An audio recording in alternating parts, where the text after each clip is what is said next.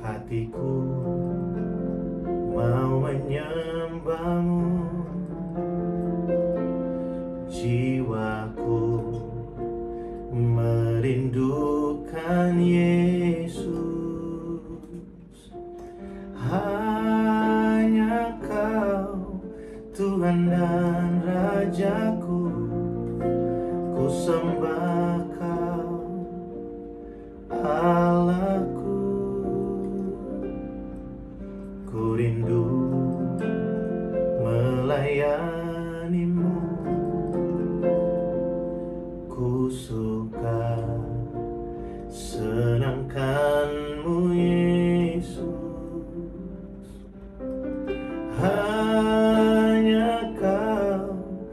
kuat dan harapku Ku sembahkan selamanya. Ku sembahkan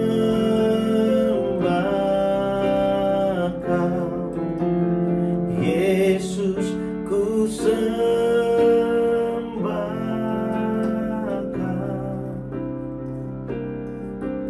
Senap hatiku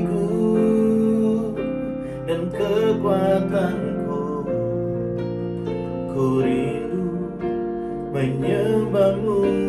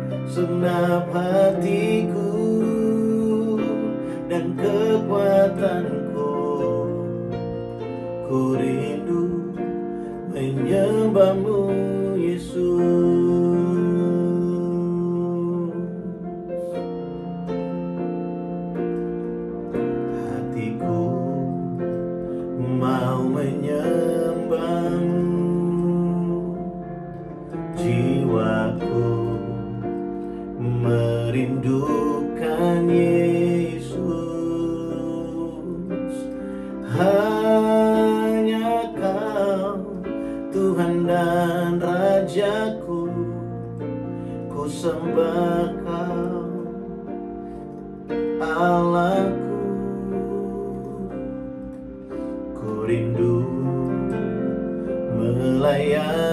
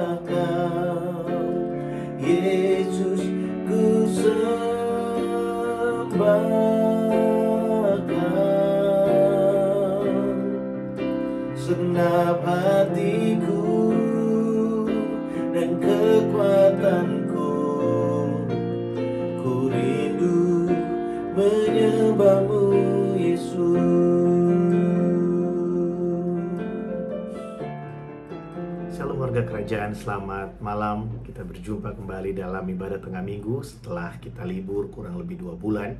Saya senang sekali hari ini di ibadah tengah minggu yang pertama di tahun yang baru ini Kita berjumpa di dalam tema kita di bulan ini yaitu garam dunia.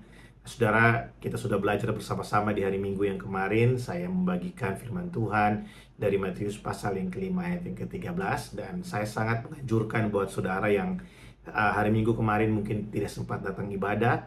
Saya anjurkan saudara untuk bisa mengikuti firman Tuhan melalui rekaman yang sudah di-upload di YouTube channel gereja kita ini ya, di RIM Malaysia.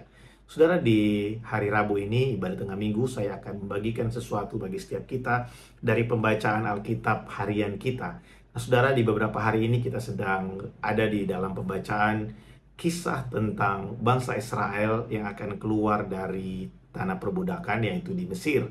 Saudara secara khusus kita akan melihat dari keluaran pasal yang ke-11 dan keluaran pasal yang ke-12. Nah, saudara, saya mendorong setiap kita warga kerajaan untuk kita bisa merenungkan firman Tuhan setiap hari melalui pembacaan Alkitab tahunan. Kalau saudara belum pernah membaca Alkitab selesai dari kitab kejadian sampai wahyu, nah ini kesempatan yang baik untuk kita bisa membaca keseluruhan Alkitab dari kejadian sampai wahyu. Tentunya dengan tema-tema yang sesuai setiap bulan. Ya saudara, kalau saudara mengikuti pembacaan Alkitab tahunan, saudara akan mengerti dalam setiap hari sekalipun mungkin tidak berurutan hari ini kita baca kejadian, besok mungkin kita akan uh, sampai membaca kitab Mazmur dan di tengah-tengahnya kita akan membaca beberapa kitab dari perjanjian baru, tapi semua ini sudah disusun sedemikian sehingga kita di, dapat belajar bukan hanya membaca Alkitab setiap hari, tapi kita juga belajar uh, tema-tema uh, tertentu. Dan kita akan melihat bahwa memang Alkitab itu dari satu ayat kepada ayat yang lain, dari satu cerita kepada cerita yang lain, sebenarnya berbicara tentang sesuatu yang nyambung satu dengan yang lainnya. Dan tentunya berbicara tentang Yesus Kristus Tuhan yang adalah perwujudan dari kasih Allah yang besar bagi setiap kita orang percaya. Nah, Saudara, mari kita lihat Alkitab kita bersama-sama dari Keluaran pasal yang ke-11 dan Keluaran pasal yang ke-12. Tentu kita tidak akan baca semua karena ini panjang sekali. Begini Saudara, kalau kita melihat cerita tentang bangsa Israel, kita harus melihat bahwa bangsa Israel itu sebenarnya sama dengan kita. Bangsa Israel adalah perwakilan dari kehidupan kita dalam cerita ini. Saudara, perbudakan di Mesir itu terjadi selama ratusan tahun. Nah, dan Tuhan mengutus Musa dan Harun untuk memimpin bangsa Israel keluar dari tanah perbudakan di Mesir. Saudara, kalau kita membaca bagaimana Firaun yang hatinya begitu keras untuk melepaskan bangsa Israel, umat pilihan ini, supaya mereka dapat beribadah kepada Tuhan kita akan melihat beberapa hal, paling tidak ada dua atau tiga hal yang penting untuk kita renungkan sebagai orang percaya dari cerita ini, saudara.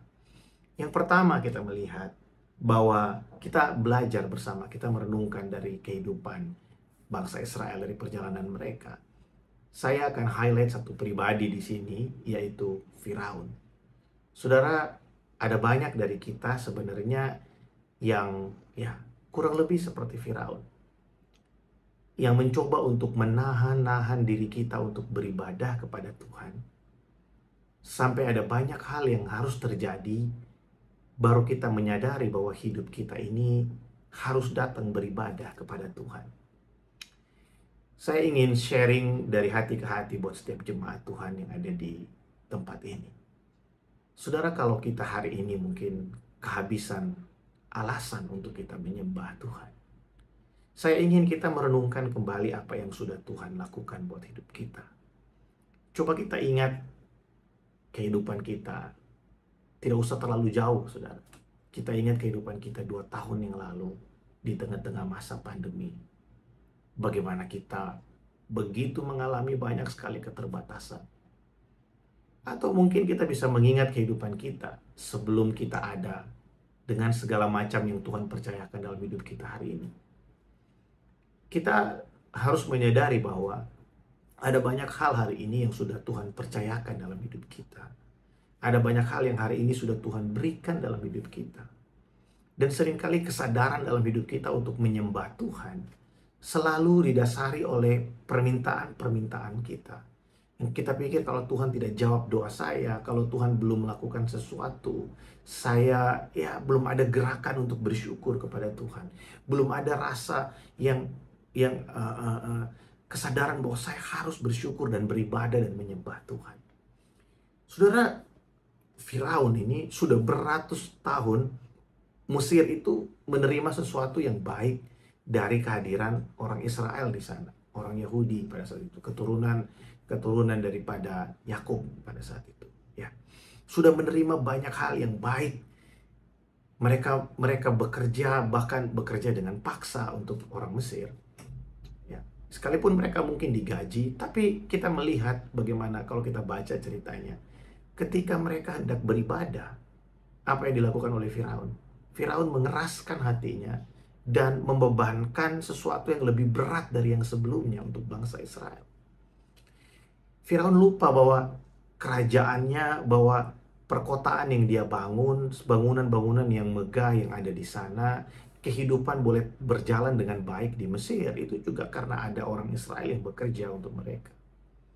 Saudara, kalau kita ambil dalam konteks kehidupan kita sehari-hari, ada banyak hal yang sudah Tuhan lakukan buat kita. Ada banyak hal yang sudah Tuhan kerjakan buat kita. Yang mungkin banyak orang berpikir begini ya. Wah, Tuhan yang bekerja, tapi kok Tuhan itu tidak kelihatan. Sepertinya Tuhan tidak melakukan sesuatu untuk kita. Ada satu ada satu uh, ilustrasi saudara yang saya nonton di uh, sosial media ya. Saya lihat di Instagram pada waktu itu. Jadi seperti gini, ada orang yang berdoa gitu ya. Dia bilang, kalau Tuhan kalau Tuhan itu ada, saya akan pergi ke padang gurun. Saya tidak akan bawa makanan, tidak akan bawa minuman, tidak akan bawa apa-apa. Saya akan pergi di sana di padang gurun dan saya hanya akan menantikan Tuhan untuk menyatakan kalau engkau sanggup menolong saya ada di sana. Oke, dia pergi sampai ke padang gurun. Hari pertama lewat, hari kedua lewat, tidak ada satupun manusia yang lewat, tidak ada satupun orang yang datang menghampiri dia. Tapi pada hari yang ketiga, di malam hari, ketika dia sedang kelaparan, ada serombongan orang datang dan bertanya, "Hei, sedang apa kamu di sini?" Dia bilang, "Saya sedang menantikan Tuhan menolong saya." Ayo sini ikut kami, saya akan kasih kamu makanan, saya akan kasih kamu pemeliharaan, saya akan sediakan semua yang kamu perlukan untuk kamu bisa kembali ke tempatmu berasal. Dan orang ini berkata, enggak, enggak, enggak, saya mau Tuhan yang datang untuk tolong saya. Saudara ini sesuatu yang konyol saudara, karena Tuhan itu memakai banyak sekali cara. Bahkan orang-orang yang ada di sekeliling kita, orang-orang yang tidak kita kenal sekalipun, itu bisa menjadi perpanjangan tangan Tuhan untuk menolong kita. Saudara, waktu kita menyadari bahwa Tuhan itu sudah melakukan banyak hal dalam hidup kita, harusnya di situ kita semakin memiliki kerinduan untuk menyembah Dia, untuk bersyukur kepadanya. Jangan mengeraskan hati kita seperti Firaun dan terus meminta sesuatu yang meyakinkan hatinya bahwa saya harus melepaskan bangsa Israel ini menyembah kepada Tuhannya, kepada Allahnya. Saudara kita melihat bagaimana Tuhan mengeraskan hati Firaun. Sebenarnya kalau kita melihat konteks dari cerita ini, Tuhan itu memang sudah tahu bahwa hatinya Firaun itu keras, bahwa Firaun itu memang tidak akan melepaskan mereka karena Firaun itu mau orang Israel ini terus menjadi budak di tanah Mesir. Nah, dari situ kita melihat bahwa ya kita perlu untuk melepaskan segala ego dan kesombongan kita untuk kita mau datang berdoa dan beribadah kepada Tuhan, Saudara. Di hari-hari ini, Saudara, mari kita bangun kebiasaan, bangun budaya untuk kita lebih lagi beribadah kepada Tuhan, lebih lagi menyerahkan kehidupan kita kepada Tuhan. Saudara, waktu kita di dunia ini tidak panjang, tidak panjang waktu lagi kita akan menikmati dunia ini. Karena ya kita melihat tanda-tanda zaman hari ini bahwa segala sesuatu yang dinubuatkan oleh para nabi tentang kedatangan Kristus satu persatu bahkan hampir semuanya sudah tergenapi. Saudara, sebagai hamba Tuhan, saya mendorong kita jangan mengeraskan hati untuk kita datang beribadah kepada Tuhan. Selagi ada waktu, mari kita beribadah. Selagi ada waktu, mari kita bawa syukur kita kepada Tuhan. Nah, ada peristiwa yang lain yang nanti kita akan baca bersama-sama. Ketika itu Yosua berkata, kepada bangsa Israel, aku dan seisi rumahku akan beribadah kepada Tuhan. Saudara Yosua tidak melihat apa yang orang lain lakukan. Mereka mungkin satu perjalanan dengan Yosua masuk ke dalam tanah perjanjian. Tapi mereka tidak mau menyembah Tuhan. Mereka mungkin berpikir tidak penting datang beribadah. Tidak penting mempersembahkan korban kepada Tuhan. Tapi Yosua bilang begini, itu urusan kamu. Aku nggak peduli kamu mau beribadah, kamu tidak beribadah. Kamu mau bersyukur, kamu tidak bersyukur. Tapi aku aku secara pribadi, aku akan beribadah kepada Tuhan. Saudara, biarlah kita juga memiliki komitmen yang sama seperti yang dimiliki oleh Yosua. Dan seperti bagaimana kita melihat bangsa Israel, mereka akhirnya pergi beribadah kepada Allahnya di padang gurun. Walaupun ya ada another story yang kita akan pelajari bersama-sama dalam pembacaan Alkitab kita setelah ini. Bagaimana mereka harus berputar-putar 40 tahun di padang gurun sebelum mereka masuk ke dalam tanah kanaan. Tapi yang ingin saya bagikan buat kita yang pertama malam hari ini yaitu bahwa jangan keraskan hati kita untuk kita datang beribadah kepada Tuhan. Kita belajar dari keadaan yang yang dihadapi oleh Firaun ketika dia mengeraskan hatinya, ketika dia dengan angkuh tidak mau melepaskan bangsa itu untuk berdoa dan beribadah kepada Tuhan. Ada banyak sekali hal yang hilang, bahkan yang paling terakhir ada kematian anak sulung terjadi. Saudara, saya berdoa supaya setiap kita dapat melihat makna rohani dari peristiwa ini, saudara.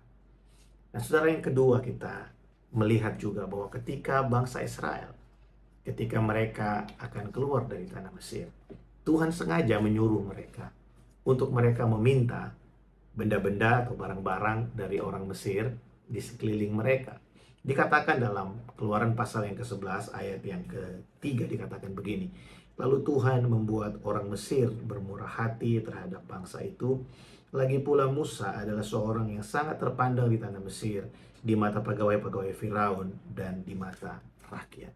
Saudara, kita melihat ya bahwa sebelum bangsa itu pergi berjalan ke padang gurun.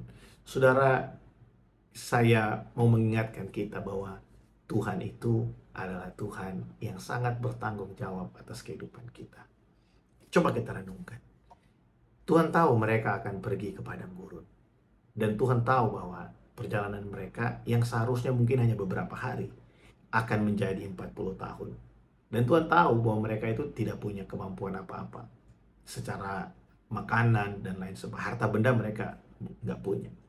Sehingga apa yang terjadi? Tuhan menyediakan melalui orang-orang yang ada di Mesir. Dan saudara, Saudara nanti bisa baca di Alkitab ya.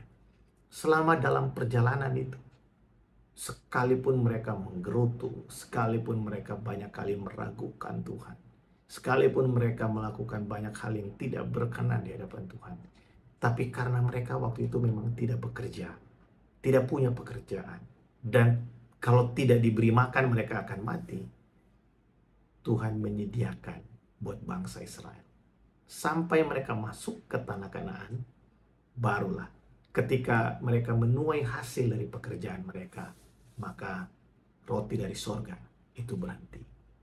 Yang ingin saya bagikan buat kita yang kedua, saudara poin yang sederhana, yaitu bahwa begini. Waktu kita mau memberikan hidup kita melayani Tuhan, waktu kita mau memberikan kehidupan kita untuk menyembah Dia, menjadikan Dia Tuhan dalam hidup kita, Tuhan dan Raja dalam hidup kita. Saudara, mari percayakan kehidupan kita secara total pada Tuhan. Tuhan itu punya banyak cara untuk menolong kita. Tuhan itu punya banyak jalan untuk dia nyatakan kepada kita bahwa dia memelihara kehidupan kita, saudara. Saudara melihat bahwa mungkin pemimpin Mesir, yaitu Firaun, begitu marah kepada bangsa Israel karena mereka akan pergi beribadah kepada Tuhan. Tapi rakyatnya diberikan Tuhan kemurahan hati untuk memberkati bangsa Israel. Untuk memberkati orang-orang ini. Saudara, kita tidak pernah tahu siapa yang akan Tuhan pakai atau bagaimana Tuhan akan menolong kita. Mempersiapkan apa yang kita perlukan. Tapi yang pasti, Tuhan melakukan sesuatu bagi kita. Kita tidak tahu caranya Tuhan seperti apa, tapi yang pasti Tuhan melakukan sesuatu bagi saya dan saudara. Amin, saudara. Biarlah ini menjadi sesuatu yang kita renungkan. Coba renungkan perjalanan bangsa Israel. Mereka akan pergi kepada gurun, saudara. Dan Tuhan tahu berapa lama mereka akan ada di sana. Dalam kemahatauannya, Tuhan itu sangat memahami apa yang mereka perlukan. Dan dia menyediakan buat mereka. Dan juga buat kita hari ini, saudara. Tuhan mengetahui apa yang saya dan saudara perlukan.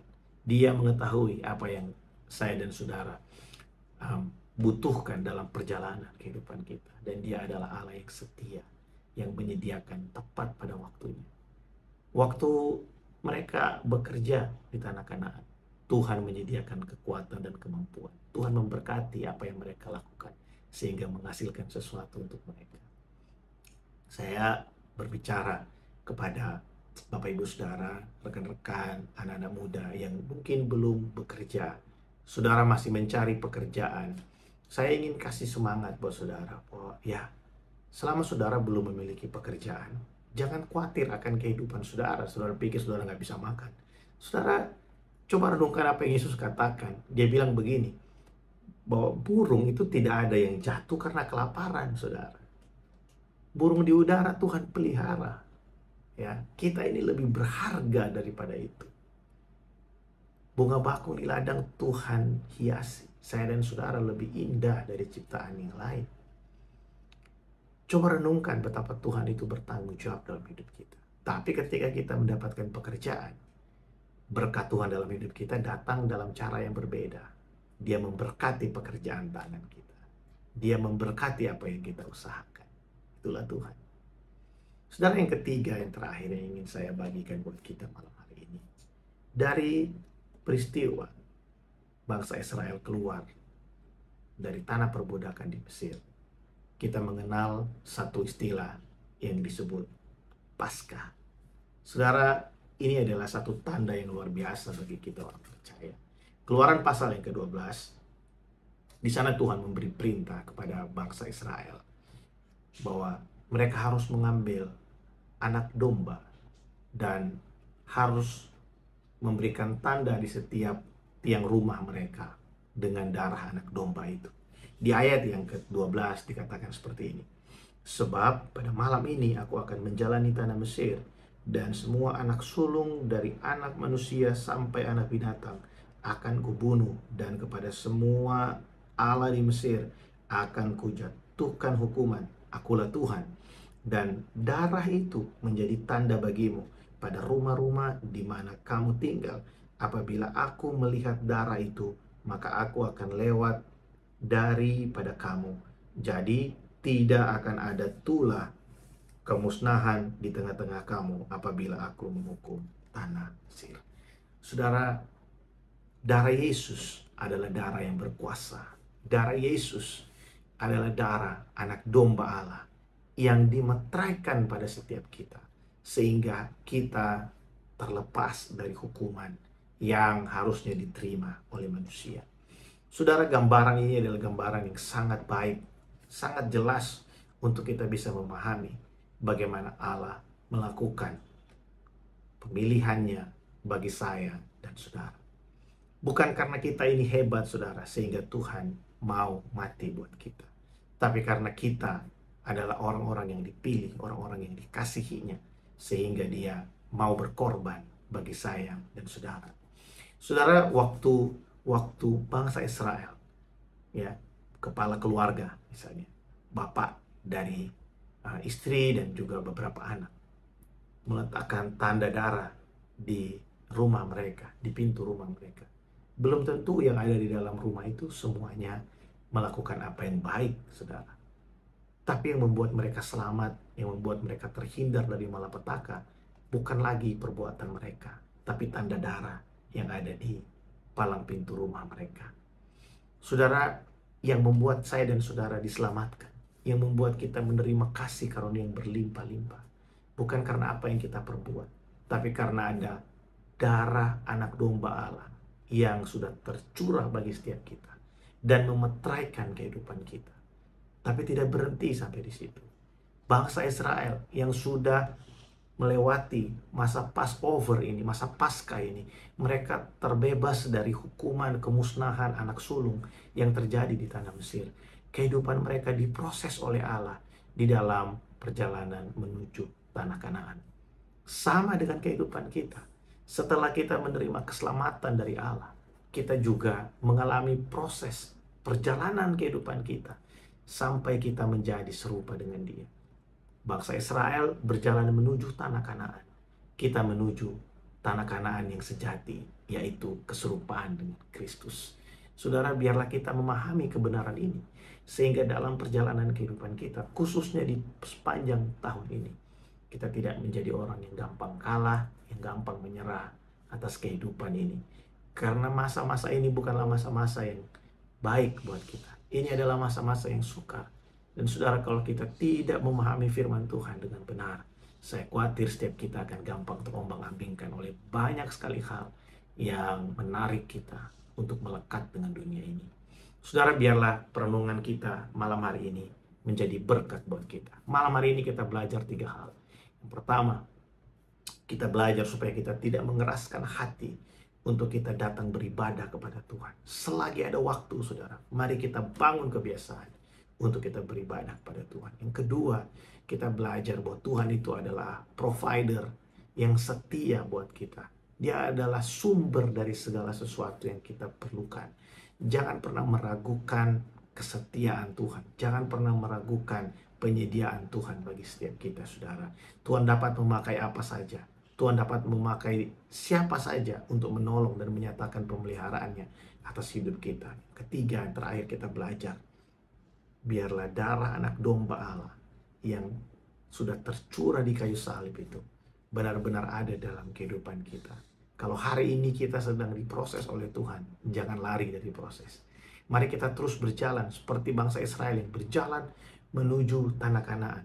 Biarlah kita menjadi seperti Joshua dan Kaleb yang terus setia kepada Tuhan, yang terus memandang kepada Tuhan, memandang dengan dengan cara pandang yang benar, melihat bahwa Tuhan itu setia pada janjinya, setia pada perkataannya, sehingga mereka tidak menjadi tawar hati ketika orang-orang sebangsanya meragukan Tuhan, ketika orang-orang sebangsanya mulai ingin berhenti ya di tengah perjalanan, tapi mereka tetap setia mempertahankan iman mereka sampai mereka masuk ke tanah Kanaan tanah perjanjian. Saya berdoa biarlah setiap kita dikuatkan dan diberkati dengan firman Tuhan malam hari ini. Mari sama-sama kita berdoa.